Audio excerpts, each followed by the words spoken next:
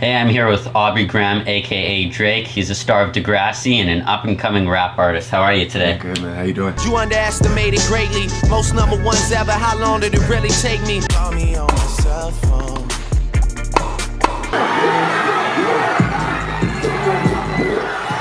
And I'm focused on getting more. They too stuck on getting even. I'm ready for it.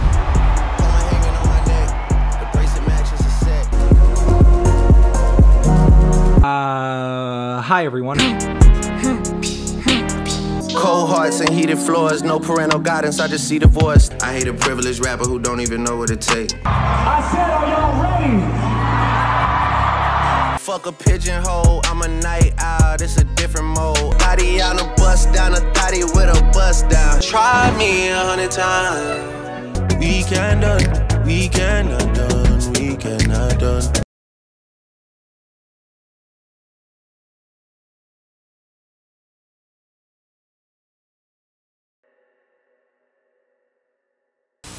Man, it's crazy to think about that it's been well over a year since I last made my Rise of Drake video. And first off, I just want to thank all of you guys for watching that video, leaving a comment, sharing, liking it, all that good stuff. Because that's my most successful video on my channel. So again, Thank you guys. And I figured, you know what? Drake has done a lot since then, and I've been getting comments about an updated video, so I said, why not? So boom! I last left off on when Donda and CLB came out, Imitation isn't flattery, it's just annoying me.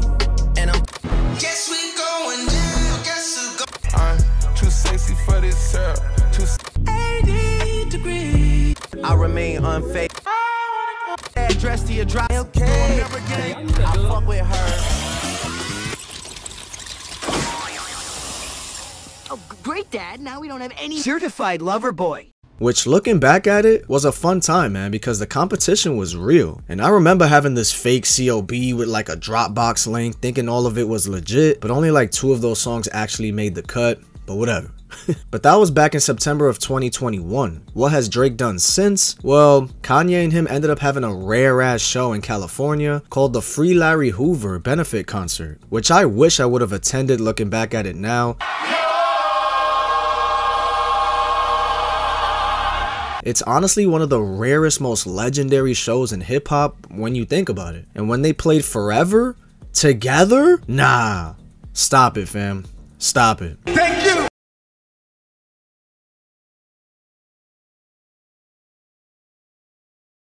I ended up going to Rolling Loud Cali though for that weekend, and everyone at Rolling Loud was talking about that Larry Hoover show and saying, Ooh, yo, who's gonna make that surprise appearance? Because they were both in town still. People were like, I guarantee you Drake's coming out, or I guarantee you Ye popping out. I was like, yo, but for whose set though? I could see Drizzy popping out for Future because it just makes sense with their history and whatnot, but I wasn't sure where Ye would pop out at. Turns out Future brought out Kanye, and the roof? There was no roof, but you know what I mean. Blew off, bruh. I was speechless, not gonna lie. It was my first time seeing Ye, so I couldn't believe it for real. But it is what it is. When Rolling Loud announced that they were going to Toronto for the first time, I was like, no Drake? You know what? This could be Future's time to bring him out, like a surprise guest. So you know what? I'm a cop a ticket. I'm a cop it. Did Drake come out? We gonna get into that though. In 2022 though, yeah, Drizzy went crazy. Arguably one of his most unique, biggest, and best years of his career. He started off the year being featured on Gunna's DS4 on a song called P Power. Show you a lick, now you working, my baby. You fuck on me and feel personal, baby. He ended up winning five awards at the 2022 Billboard Music Awards, including Top Artist, Top Male Artist, Top Rap Artist, Top Rap Male Artist, it's mad specific, and Top Rap Album with Certified Lover Boy. He then went on to be placed fourth on Forbes' highest paid rappers of the previous year, and then he announced a return to touring. Speaking of that, he was supposed to have a show in New York at the Apollo, but we'll talk about that too. In March, he ended up winning Hip Hop Artist of the Year at the 2022 iHeartRadio Music Awards. I also found this next stat to be pretty interesting, yet random as hell, and a bit unfair in my opinion. So there's an article that says Drake and Taylor Swift each had more streams than every pre-1980 song combined last year. His music accumulated 7.91 billion streams, while songs pre-1980 had generated 6.32 billion. I mean, that is impressive, obviously, but isn't that like unfair? Because I mean, back then there was no streaming, and it's been decades since those songs were in their relevancy. So I mean, yeah, whenever Drake drops, of course the numbers are gonna go crazy because we're in the digital age. And I get it. A lot of those pre-80s songs are probably still being played today if they're classics, but still, it's a new age and he's still releasing music. So I don't know. I just feel like that stat is just a bit unnecessary. But hey, it definitely makes Drake look good. He then went on to be featured twice on Future's album I Never Liked You on the songs I'm On One and Wait For You. His right hand, right knee, left hand. Supposed to be a dog, but you don't put me in a kennel. which both hit the top 15 on Billboard, but Wait For You ended up going number one for a week, but still. That song actually became Drake's 10th number one song in his career, making him the 10th act to achieve 10 number ones. And out of nowhere, I'll never forget, I was actually on my way to a Pusha T concert of all things. Drake announced his next project, Honestly Nevermind, on Instagram. Fire album cover, by the way. He even put in the caption, 7th studio album. I was like, whoa, out at midnight? No way, bro. And a lot of people in the comments were like, oh yeah, this album about to be straight bangers. Like, yeah, this gonna be way better than CLB, bro. It better be on some aggressive shit. If you're reading this, it's too late shit. It better not be nothing soft, etc., etc. Well, we got something out of right field, bro. With a house party slash dance slash backyard barbecue music. I didn't really know what to think of it at first, I'm not gonna lie. I was like, man, this is so different and not what anyone was expecting. It ended up selling 204,000 copies in its first week, becoming Drake's 11th number one album and making him the fifth artist with over 10 number one albums. And I ain't gonna lie, I was talking a lot of shit when this first came out, bro, for like a month or two. Pusha T actually made a slight comment, like a little jab At the show? at the show. Wow, what'd he Because he kept saying, It's Almost Dry's the fucking album of the year. And I don't care who drops. And the whole crowd's like, ah. He's like, ain't nobody fucking with this album. I was like, that was clearly a subtle shot to Drake. But uh, yeah, when I first heard the first like three songs, I was like,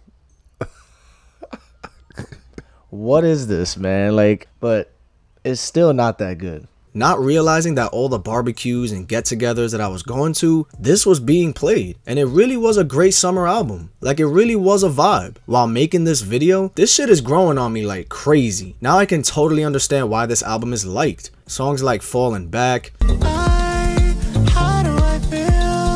Sticky, You know how sticky. Texts Go Green, If I come around you, Massive, Oh, when you're ready, we can put this behind us. A Keeper. Bro, that ending part, that shit puts me in a trance for real.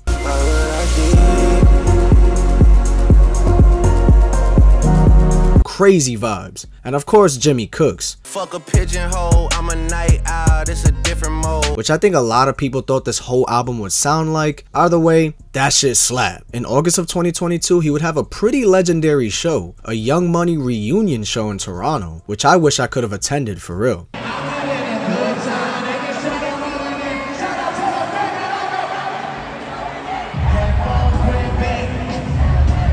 Him and DJ Khaled ended up collabing for the song Staying Alive, which Khaled said in an interview, it was the hook of the century. the hook of the century. Thank you. Whole world's gonna sing it no matter what. You gotta love Khaled, bro. It's a pretty dope song, but it definitely didn't stick the way Khaled thought it would. I, I, I, I'm staying alive, I'm staying alive. In fact, that song actually marked the 30th Drake song to reach the top 5 on the charts, breaking a 55 year old record for most songs to reach the top 5 on the charts, previously held by Big Draco. nah, I'm just playing the Beatles.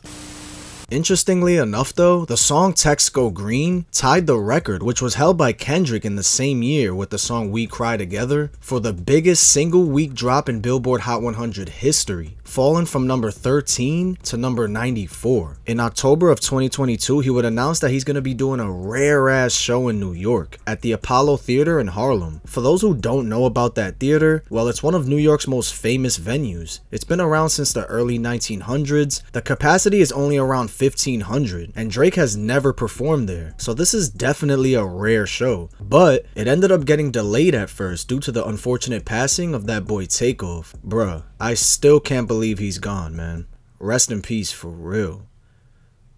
But yeah, it ended up getting pushed back to December for two dates. But even that show didn't happen. But it's crazy because as I'm recording this video, Drake actually posted on his Instagram hours ago about this show this weekend, January 21st and the 22nd. It was super hard to even get tickets for this show, so yeah, it was like a sweepstakes or some shit with SiriusXM. I don't have tickets, I'm sure it's sold out. Probably won't be there, but man, I really wish I was going to that show, bro. Regardless though, let's go back to October 28th, because this is the day that Drake and 21 Savage released their collaborative album, Her Loss. Scratch that. It actually released on November 4th because of Drake's longtime producer 40 had COVID. The album, in my opinion, is great. Drake carries hard on this tape to me, because he does have a lot more vocals on this than 21 does. Don't get me wrong though, whenever 21 does his thing, he does his thing. There's a lot of fire tracks on here, bruh. Circo Loco with the Daft Punk sample? Pfft, gas. I've been blowing through the money like it growing trees. Back Outside Boys where Yachty's ad-libs is fire. Cutting the traction, bet in the corner, bet I make shit glide. By the way, the cover art, not really a fan, bro. But yeah, there's a lot more tracks on here that stand. Beat it. Can you talk to the ops next for me? 21. That's a dude? Yeah. Oh, hell no. That's a girl, bro. Oh, God, I did. You look like a girl. We That's up not there, wild. 21 Look, look, it's, it's a whole trend, bro. Like they got mad people that like. for me. Then 21. Can you do something for me? Can you talk to the ops next? Start the V. Snakes in the grass, so they harder to see. Braid it up in my sweet so hit them, then I get amnesia. Fantano actually has some interesting words for it though. to the point where much of this album is actually tasteful, entertaining, cool to listen to, and not nearly as corny as it could have been. Uh, spare those jabs at black women that just didn't really need to fucking happen. Speaking of words from Drizzy, his jabs at Megan Thee Stallion were interesting. Stop her getting shots, but she's still a stallion. She don't even get the joke, but she's still smiling. So it didn't take long for Megan to get wind of this. I know I'm very popular, but y'all gotta stop attaching weak blank conspiracy theories in bars to my name. Stop using my shooting for clout. Since when the F is it cool to joke about women getting shot? Serena Williams, which was hella random. It just didn't really need to fucking happen. He came at Dram, Ice Spice. Yeah, Drake was out here on this tape. The album sold 404,000 copies first week. In fact, 8 of the album's songs debuted in the top 10 of the Billboard Hot 100, extending Drake's record for most top 10 entries with 67, with a record 49 as a lead artist. He's also the only artist to log 8 top 10s from an album twice. He even posted this on his Instagram, bruh showing all the songs from his album that made the top 10, except the number one track, which he covered. Bro, I thought that shit was hilarious. I just love the aggression of this whole project, really. It's one of his best projects in a while, for sure. Another funny thing too is that Drake and 21 both posed for a fake Vogue magazine shoot, which they used to promote their album. And they were even sued by the publisher of Vogue for like $4 million or something like that. And apparently, he also came at XXXTentacion. If you've seen my part 1 of Drake's documentary, you know I talk lengthy about that X and Drake beef and how there's a lot of controversy about X's passing and how a lot of people think Drake has something to do with it. Well, yeah, apparently he's sending shots to X again on the song On BS. Drake was taking shots at everybody on her loss, but everyone is still talking about this one. Maybe I should do a 20. Maybe I should break that 20.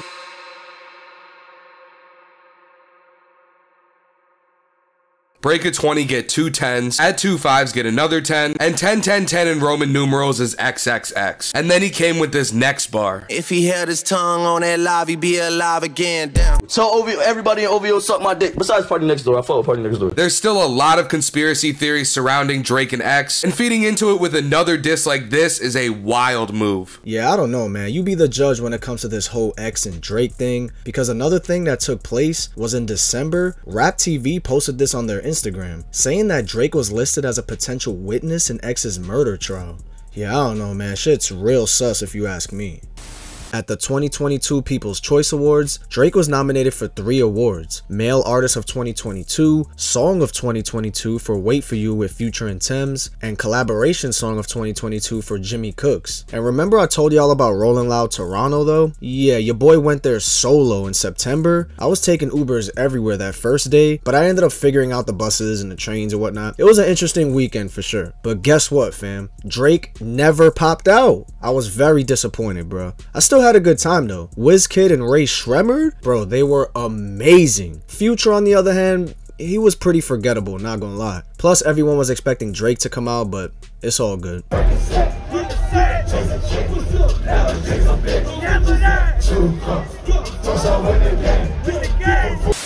I found it pretty funny too what Drake said in this little interview about hookah. Oh, what's the hookah flavor? It's it's Habibi's. First of all, this little pouting face that he be doing, bro, that should be blowing mine. Like, what are you doing? Look at him, fam. Why does he do it so often? Like, that shit is funny as hell. But continue on. Never smoke. By the way, I'd like to say that I'd like to say something. I feel like in the No Lie video with 2 Chainz, I was smoking hookah. I feel like I was responsible for the hookah boom. He did it again, bro. He did it again. In America, I just want to lay claim to that. I don't know if anyone wants to give me that credit, but it was way less shisha in the club and way less shisha spots in America before I smoked. So, that was in like yeah. 2014. I was Oh. on the hookah wave, the shisha wave way earlier. You know what's crazy though? The album of the year for me was Metro Boomin's Heroes and Villains project, right? And tell me how Drake was supposed to be on that hoe. Metro revealed in a recent interview that Drake was supposed to be on Trance, the song with Travis and Thug, but he said it was already after the song was done and locked in. Why did that version not make the album? Really, it was a song I had did with Travis and Thug originally. I was just in the studio with Drake one time Uh, because we was gonna do some stuff for my album, and he just wanted to hear some songs from my album. Then he heard that one and really wanted to get on it, but like I was letting him know that it was really just done for real, and I was really mm-hmm. just set on how it was. I was like, Brian, I ain't trying to sell you no dream. Like mm-hmm. it's really like just locked in. I'm locked in where it was. Hit me and was just like, man, uh, let me see if it's just anything he could add to it. And he was like, if you don't like it, then whatever. So he did. He did some stuff. A couple parts was cool, but like I just felt like just even with like slime burst and trap burst and the outro, it was just mm-hmm. already like it just really wasn't no room. Yeah. It was just wasn't no room. It wasn't no personal. It just wasn't no room. It was just recently leaked and it's gas. I can't play the whole thing, of course, but damn, Metro. We go so far back in time. We put on the feathers for this type of weather. She go to the club to bust up a done. Who cares if it wouldn't have fit or if it was too long of a song? Come on, man. You put Drizzy on your shit. Drake was recently featured on a song with Popcaan. That shit is gas. We can done. We can done. We cannot done. But yeah, man, Drake said he's going on tour this year, so you already know. Them shit's about to be bread. But more than likely, I'm in there. It's gonna sell out everywhere, to be honest. But yeah, Drizzy Drake Rogers. He truly is the greatest artist of this generation, let alone of all time. The accolades speak for themselves, fam. Yeah, some people criticize him with the ghostwriting, and some people just don't respect his shit. But you can't argue with the numbers. You can't argue with the impact he's had on the industry. Not only is Drake literally the highest certified digital singles artist ever in the United States, having moved 142 million units based on sales and on demand streams, but he's always in everyone's top 10 Spotify Wrapped or Apple Music Replay, even if they say they don't even listen to him like that. Like, bro, that's crazy. Him and Bad Bunny in 2022 were probably the most popular artists around, bro, if we really being honest. That man has been making hits after hits since I was legit starting ninth grade back in 2008. Yeah. Damn, I'm getting old, fam. but for real though, like he's still out here. He could have stopped making music at least five years ago and still probably would have been considered the GOAT. So yeah, I'm gonna give that man his flowers while he's here and just appreciate consistency and greatness. He's the certified lover boy. Honestly, never mind. It's her loss. Let me know in the comments, fam, what's your favorite Drake song, favorite project, your memories with Drake's music. Let me know all of that, and I'll check you guys in the next video. Peace. 901 Shelby Drive. Look alive. Look alive.